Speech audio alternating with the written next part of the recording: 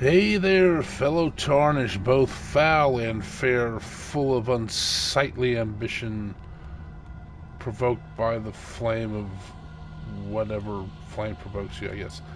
Uh, welcome to the next episode of the playthrough of Elden Ring. I'm Stubs the Wizard, your host.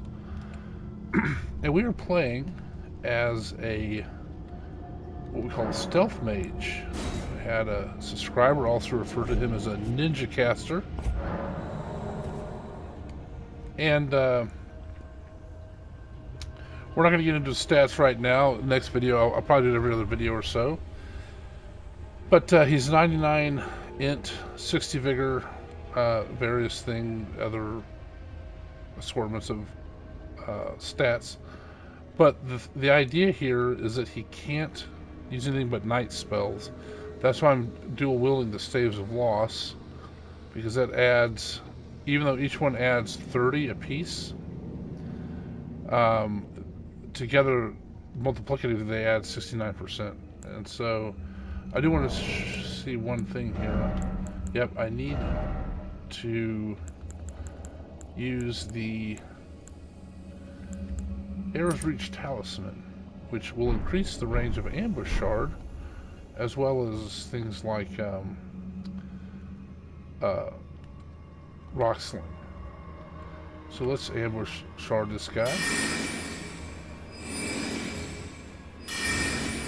Man, he's tough. That's a three. And then we're going to fall down here. And just for giggles, I'm going to change this to the cat ring to not I don't think this will kill me, but it'll take a bunch of my health. So we'll see we'll see what happens here.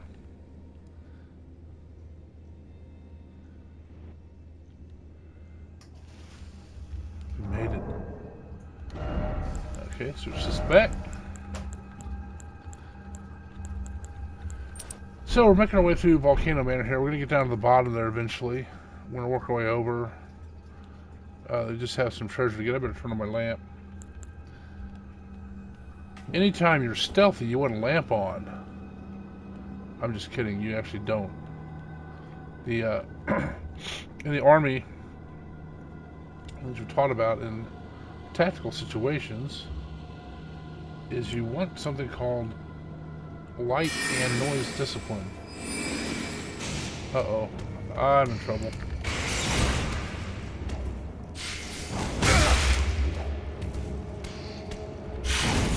You hose beast.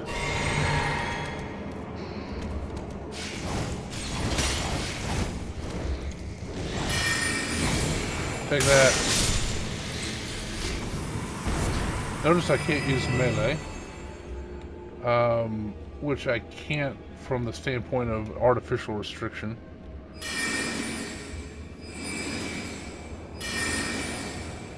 Alright. Just for that attack, I'm going to bust up your furniture.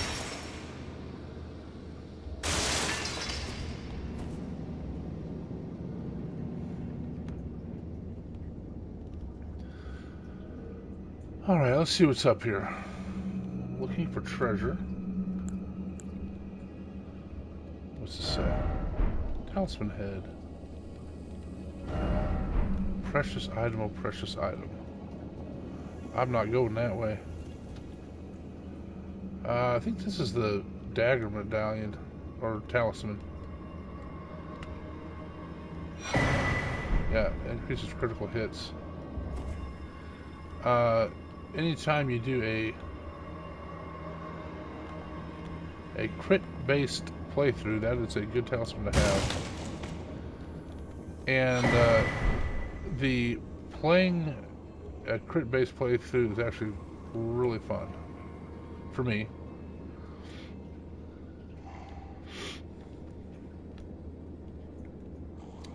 That's why I define um, critical hits as not. Hey, I wonder if I can use the mist from here. See what this does. But I define critical hits as not melee. Was going to get him at least if I get him coming over here.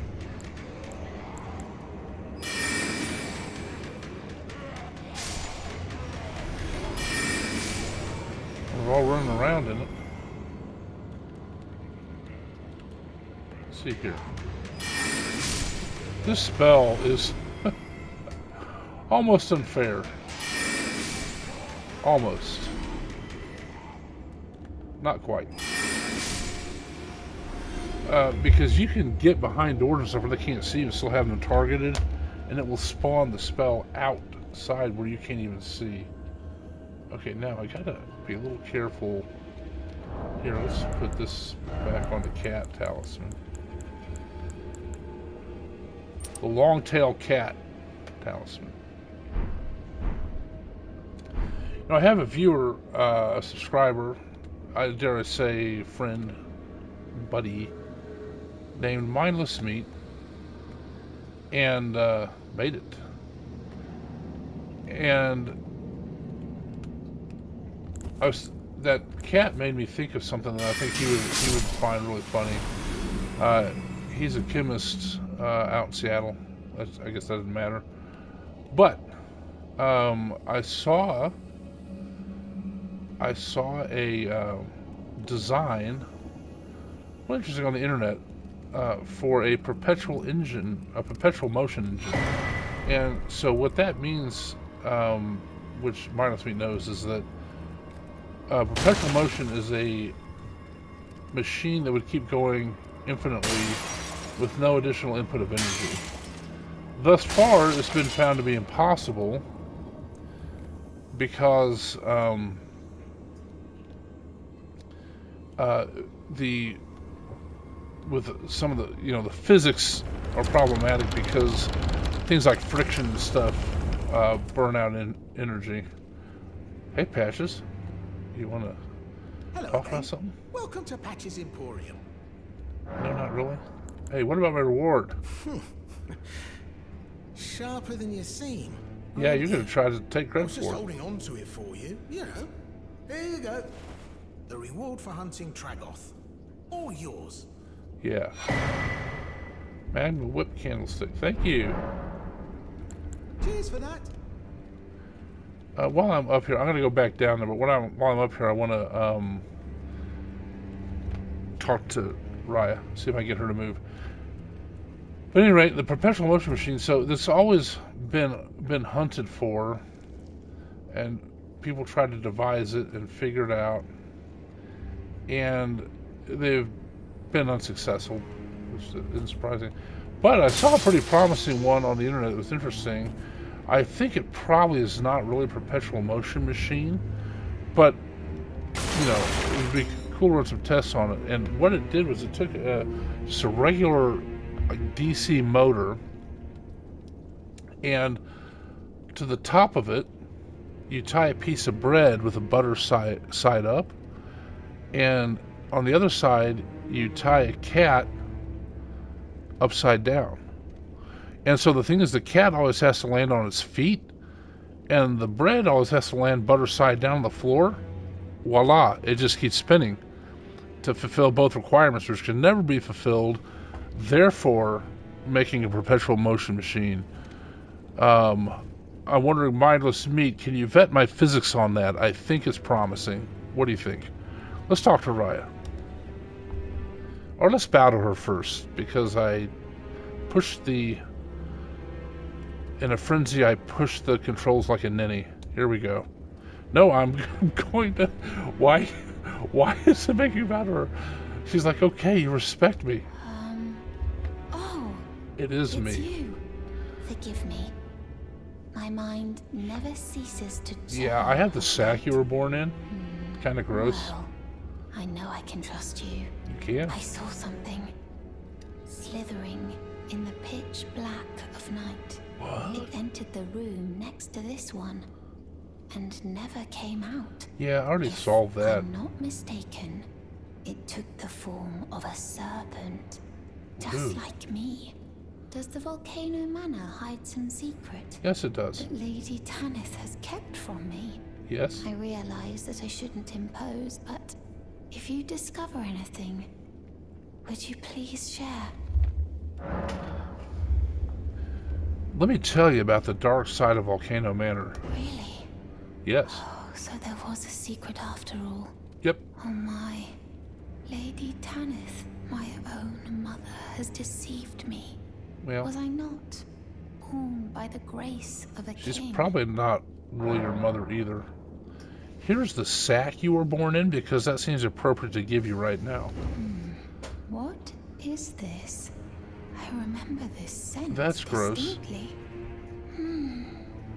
Funny, isn't it? Not really. I am certain of it. Yeah. I was born inside this. Yeah, pretty it's gross. a part of my birth, mother. You have my gratitude. Thanks Thank to you. you, I am no longer afraid. Good. I want to know how I was born and met Lady Tanith. One day, I hope to call her mother once again. This time from the bottom of my heart. All right. I want to know Yes. how I will one day. You're repeating yourself. Let's go talk to your adoptive mother. Kind of gross. You gave her her amniotic sac.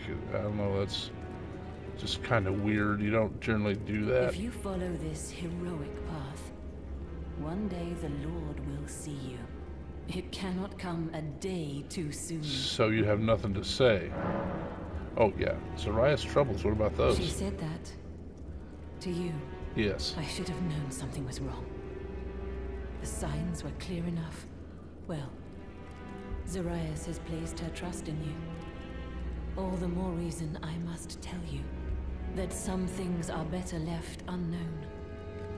Besides, no one should be blamed for their heritage. That's Think true. about it. We are resisting the ways of the Erd Tree itself. What Mm-hmm. matters one's lineage in such a crisis? Exactly. Zorayas has placed her trust in you. That some things are better. Okay, that's what you said before.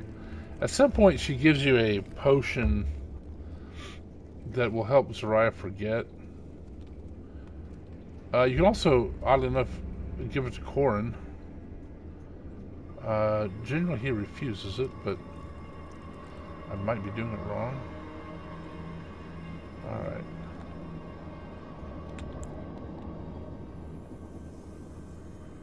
Hey, brother. Take that.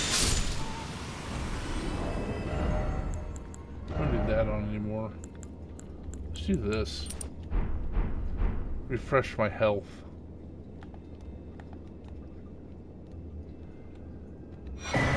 Seedbed curse. Yeah, this is just gross. You know, what is implying we're in all these places you get the seed. Wow. Uh, that did not end up well for him. But anyway, the Seedbed curse with Dung Eater, where they always have that stain, uh, is a heavy implication of untoward things happening, which are not awesome. Come at me.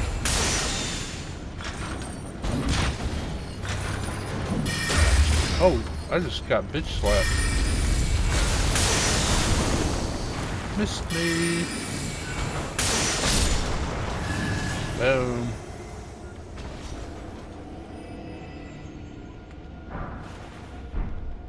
Uh, let's see how we want to go.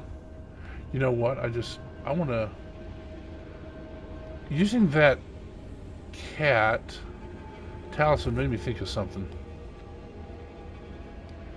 I want to I want to try to get this thing down here. Uh, there's a stairway that's broken.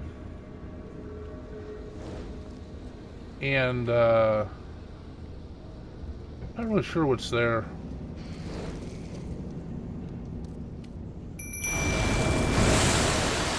But I, so you're supposed to jump from another stairway, uh, and I pretty much always fail at it. And uh, so, yeah, I gotta put the.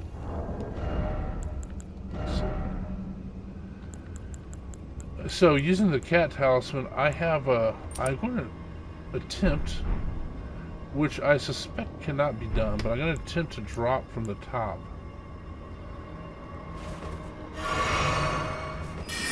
Rather than try to do the stairs as you're kind of supposed to.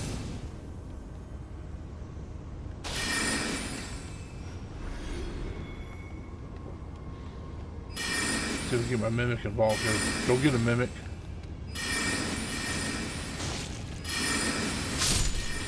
Shot him in the back of the head. We sniped him. He was completely sniped. Hello, sir. I'm gonna just backstab you. You.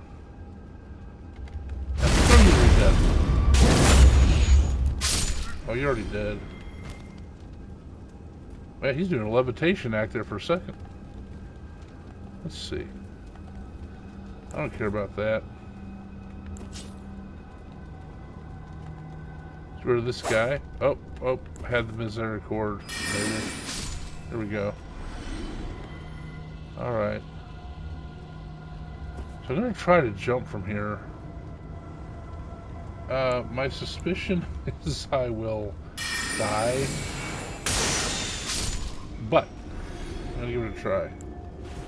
So cat talisman back on. Uh, this is what made me think of it, because I was using the cat talisman in the other room. And so I want to just try it. Then I'll decide if I think it's um, worthwhile. See, there it is right there. And usually, you, the, I haven't gotten much, but when I have, I've jumped from that stairway, and you land on the stairway there, then you come down and get it. But I haven't been able to do that. Um, just for giggles, I'm going to try to do an R1 attack to try to draw myself back into the stairwell.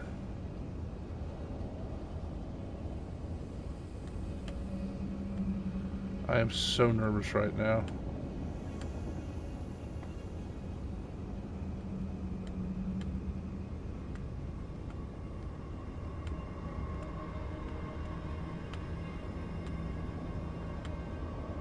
I'm gonna the lava, aren't I? Oh man, I made it.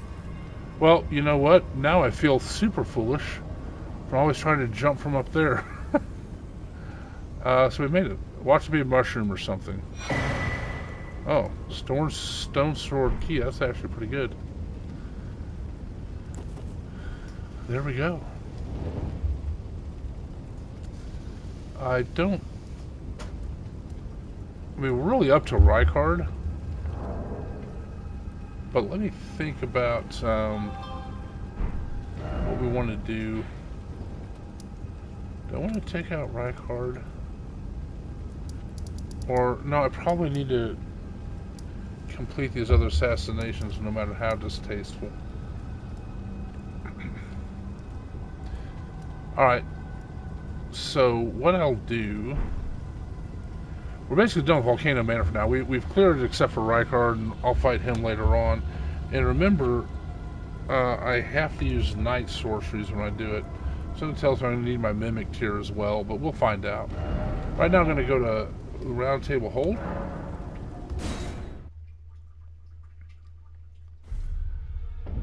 And, um,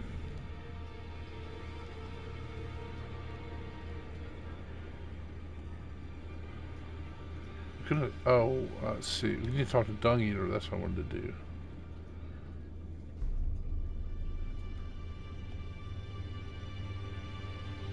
Um, just for good, let's see if they have anything I want. Uh, it's a, oh yeah. No, I'm gonna, oh sure, what the heck, I'll take it. I don't know how much I need to level up, but Oh, uh, let's see. What's this? Sanctuary stone. Okay, yeah, yeah. I need? Let's go talk to Dung Eater. And this, he'll give us the key to his cell in um, the um, whatever. Light. Subterranean Proving Grounds. Felt the curse. I can smell it on you. The pox, yet tender. Apparently my seedbed is ripe and waiting.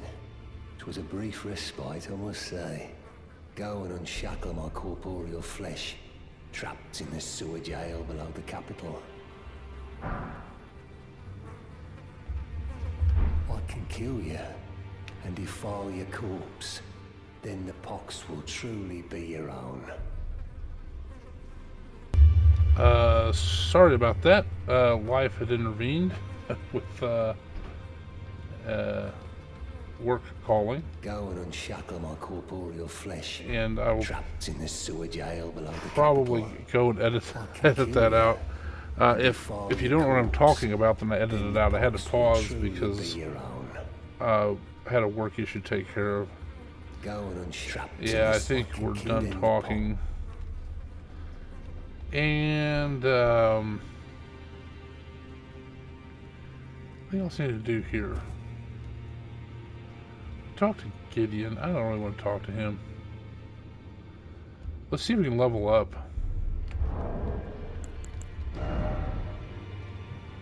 Two sixty-three. Yeah, we got enough to level up. So what I'm going to do is I'm going to start um,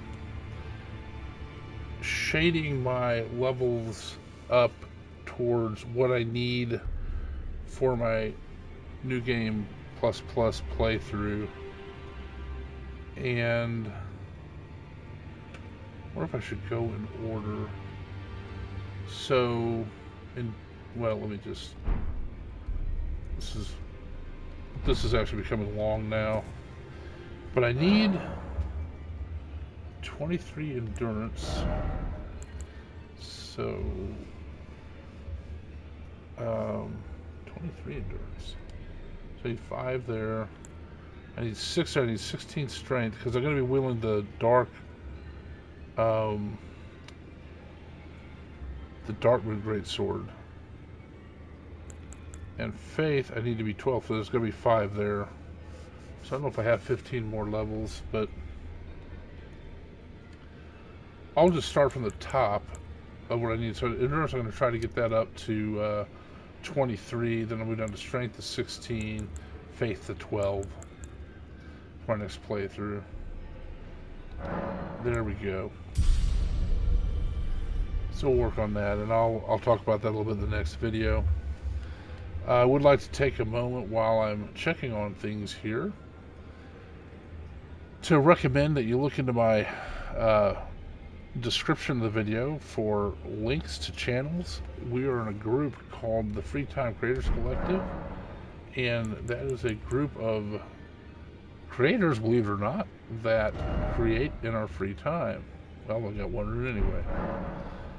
And, um, you know, great group of people. They have different games we play, different styles, different recording uh, techniques, etc.